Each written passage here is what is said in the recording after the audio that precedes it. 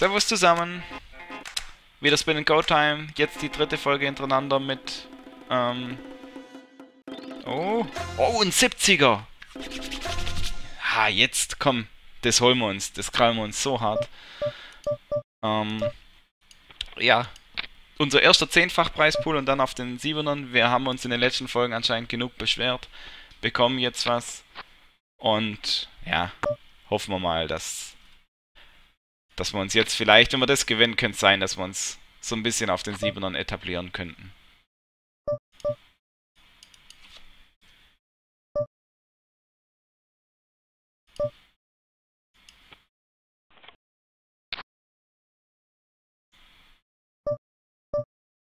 Schade, dass wir hier verfehlen. Ich werde jetzt hier Pre rein... Ah, wobei... Er ist halt ein Handyspieler. Ja, komm. Er hat auch King Queen, aber in, in Spades. Wie hat er das gespielt? Ja, okay, hat er halt den Flush Draw aufgepickt. Aber ist natürlich ein gutes Ergebnis, dass wir hier tatsächlich sogar noch ähm, splitten am River.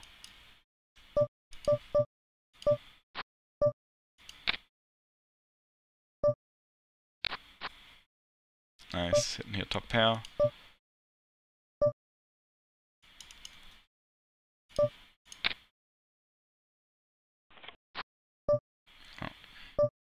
Queen ist eine okay Karte. Gibt jetzt natürlich so ein paar Flush-Draw-Kombos eventuell mit einer Queen drin oder so, aber werden hier weiter betten. Und ja. Nehmen den Pot mit. Nice. Let's go.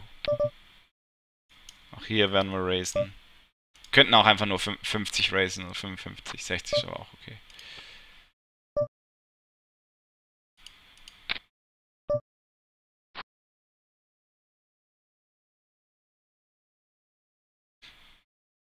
Nice. Deswegen schaffen wir hier in diesem Spot nicht direkt mit Ace Queen, weil es hinter uns noch jemand geben kann, der noch über uns drüber baut. Mit Ass 6.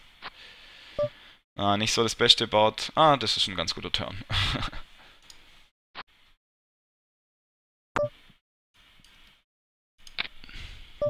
okay, wir müssen das untere gewinnen. Wir müssen es einfach.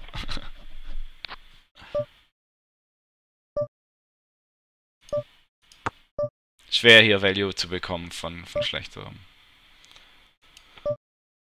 Deswegen checken wir unsere neuen da einfach und wären auch in den Flush gelaufen.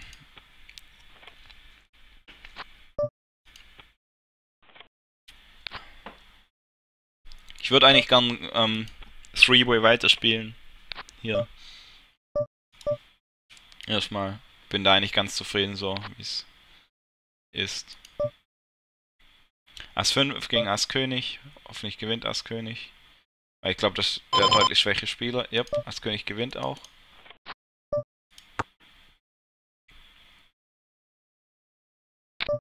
Also er limmt zumindest die ganze Zeit nur und das ist für uns halt gut.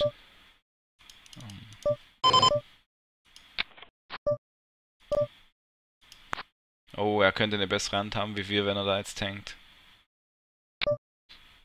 Ach, er kommt mit 3,7. Ah.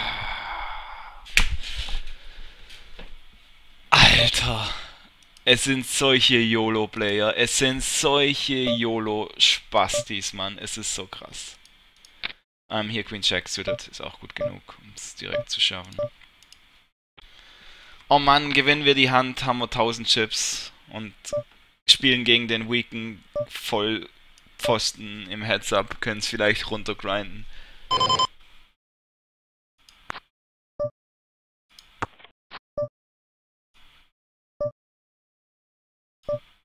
Es kommt halt all day long bei den Vollpfosten an. Es kommt immer und immer und immer wieder an. Und es wird auch jeden Tag wieder ankommen für ihn. oh Mann. Oh Mannsen. Es ist noch nicht vorbei, aber ja. Der Pot war, also dieses All-In war richtig, richtig viel wert.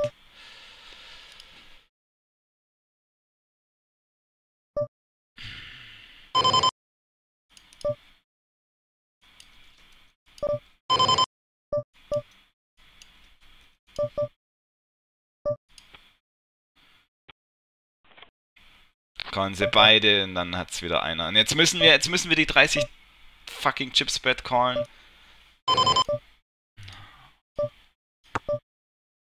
Okay, waren beide vorne. War sehr ambitioniert für uns. Aber ja, okay. Ähm, hier, Ass 8, geht rein. Hoffen wir, dass wir irgendwie... Was, was hat denn er für ein Bett-Size? Es sah eigentlich so gut aus.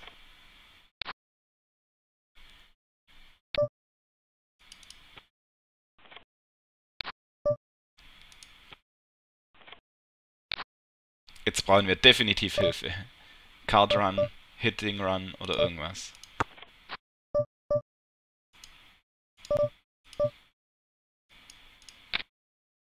Jetzt foldet es auf einmal.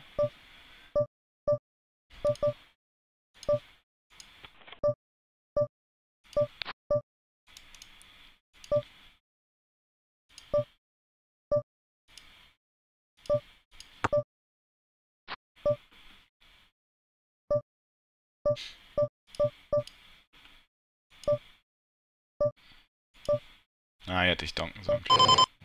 Egal. Batman Turn und River.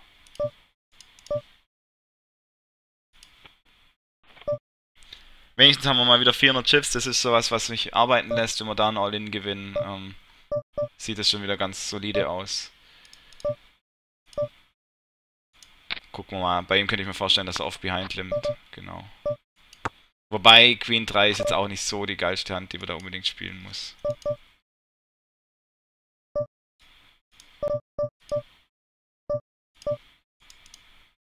Ace King gegen Jacks. Oh, nice.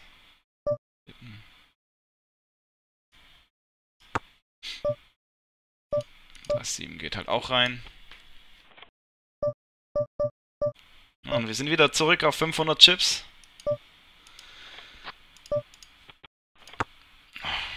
Vielleicht bekommen wir ja nochmal so eine Chance für so einen Traum all in wie vorher. Wie vorher. Vorher. Vorher. Ähm.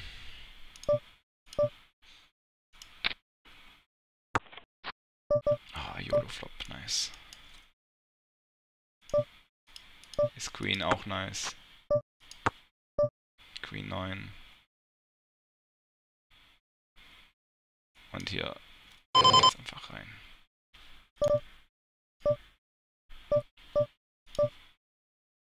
King Queen. Okay, dann kriegen wir hier noch einen Call.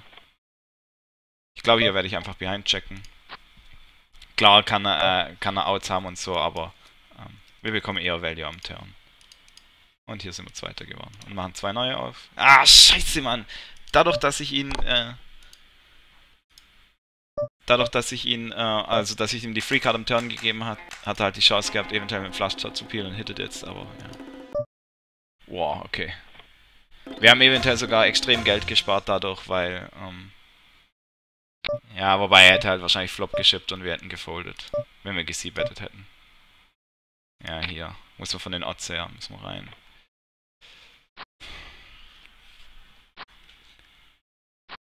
Er kriegt mit 2 BB kriegt er noch Aces. Und jetzt ist unser Stack schon wieder nicht mehr so geil nach den zwei Händen. Ziemliches Rollercoaster-Ding, das Teil hier.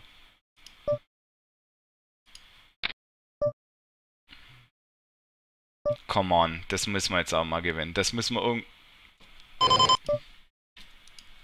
Was ist eigentlich los mit unseren, mit unseren Hitting-Skills?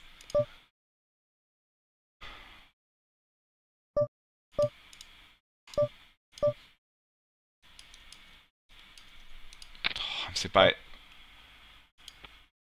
Scheiße. Okay, das war's. Wir sind raus. Und haben das 70er verkackt und... Scheiße, Mann. Es ist so bitter. Wir werden sogar... Also, wir werden Dritter. Flush Draw bei ihm kommt halt wieder instant an.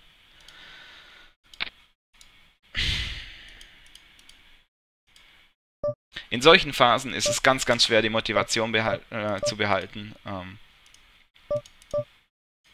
ähm, immer weiter zu grinden, weil jetzt kann es halt wieder sein, dass wir jetzt wieder über 100 Sit and Goes nur vor 10er bekommen und 28er und so. und ähm, einfach nichts vorangeht. Und hätten wir das halt gewonnen, wäre es halt äh, cool vorangesprungen. Vor allem ist halt das Problem, ähm, motivationstechnisch, da ich diese Serie ja nur für YouTube mache und eigentlich ähm, deutlich höher spiele, ist das Problem an der Sache halt, ähm, da dann die Motivation behalten. Aber wir werden einfach weiter grinden, wir werden versuchen, das irgendwie ins Plus zu drehen. Ähm, was hat er jetzt hier schon wieder? Was macht er?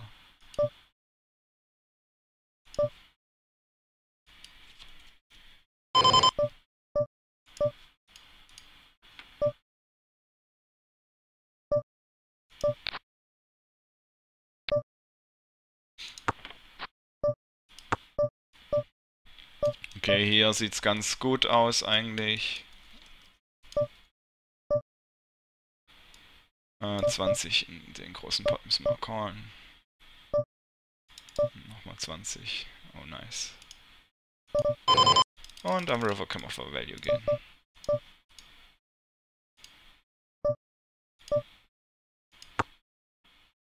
Sixes gegen Ace Queen. Nice. Okay, wenigstens das hier gewonnen. Ähm, wie viel haben wir? 11 Minuten. Ja, locker können wir da noch eins aufmachen. Die, die 14er, das ist irgendwie gar kein Problem, aber... Weil da hittet er jetzt auch noch. Ich habe schon zwei aufgemacht, weil ich irgendwie schon das eine schon abgeschrieben hatte. Mal wieder ein 28er.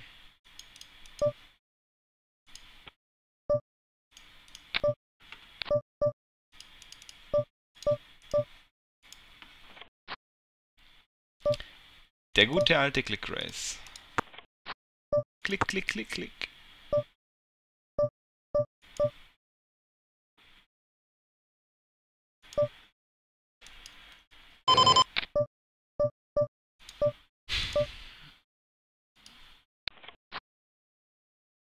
Nietzsche River. Best River in Town. Wette groß. Jola.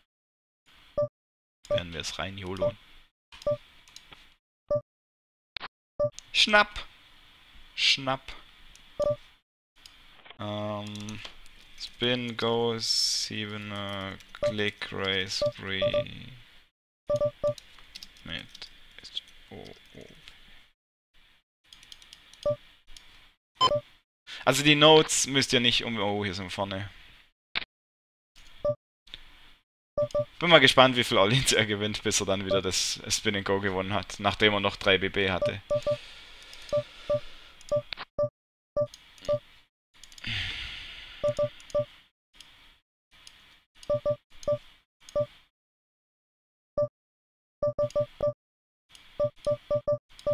Boah, jetzt sind es echt zu viele irgendwie. Ging nochmal gut was auf. Wir haben auch Behind Check. Wir können auch mit einer Delayed C-Bet den Pot mitnehmen. Aber wenn er sich jetzt anfangen sollte groß zu donken, dann können wir auch aufgeben. Ace Queen, easy.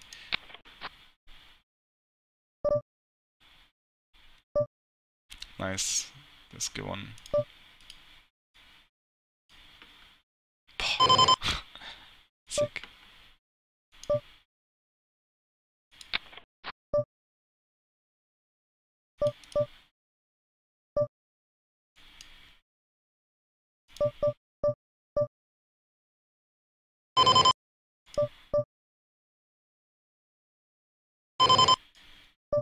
Schöner, schöner River hier.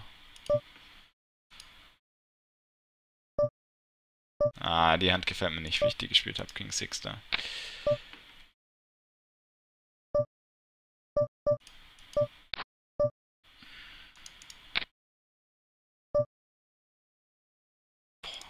Wenn wir irgendwas hätten. Ah, was ist das für ein Board? King Queen, 10, 8, easy Full House. Wir haben gerade eben schon mal gesehen, dass er seinen Top 2 Slow geplayt hat, im Click Race Pot. Ja, und jetzt hätten wir wenigstens die Nuts. Wir werden noch versuchen, noch ein bisschen was rauszusqueezen. Ah, er hat auch den King. Schade. King Jack. Ja. Sind wir lucky gewesen. Äh, wir können eigentlich, wir können noch mal eins aufmachen. Wir können noch mal eins aufmachen.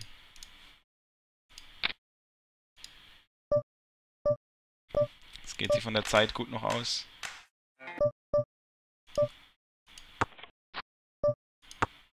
Oh, wieder ein 28er.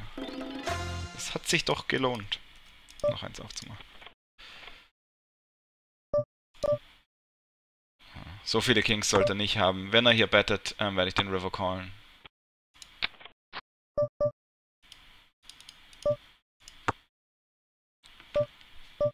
Ja. Ace Jack hier geht auch rein. Wenn wir den Pot hier gewinnen, dann das wäre sehr, sehr nice.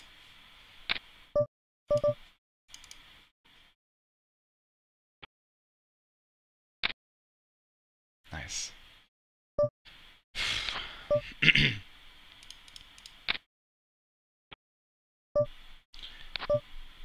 YOLO-Spieler überall.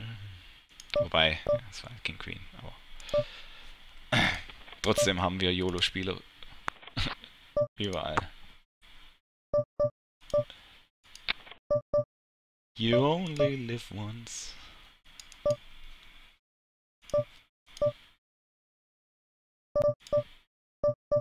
Ah. Komm.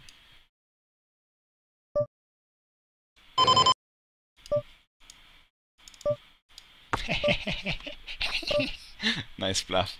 Äh, war aber irgendwie, irgendwie war es klar von dem Bet-Sizing, dass er halt keine. Also es war irgendein Draw und da wir am River gemisst haben. Wenn wir hier schon zweimal so sick peelen mit 7, 8 off, dann müssen wir halt auch den River schaffen gegen ihn. Hm.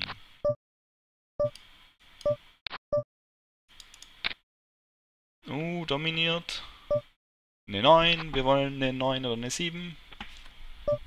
Endlich mal. Dankeschön. Wir hitten. Zack, das noch gewinnen. Zack, das hier gewinnen. 2. Ah! Das war ein 28er. Das war ein 28er. Schade. Oh, hier, Ass 10. Kommt er nochmal zurück.